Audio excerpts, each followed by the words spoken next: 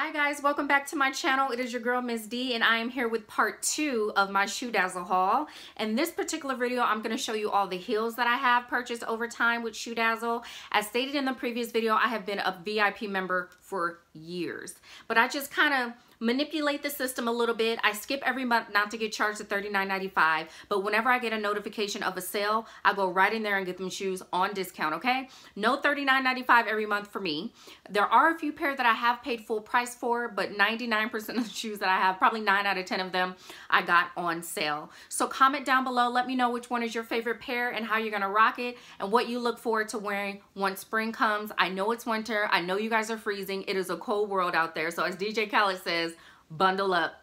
Thank you so much for clicking on the video. Part one will be listed down below and linked below so you can check that out if you haven't caught it.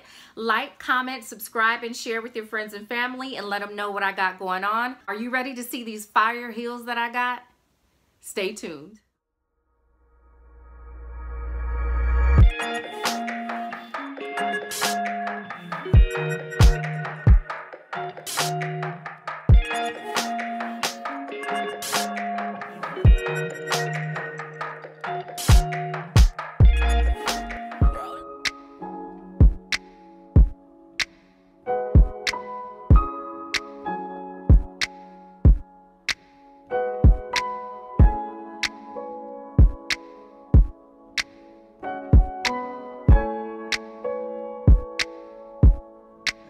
Yeah.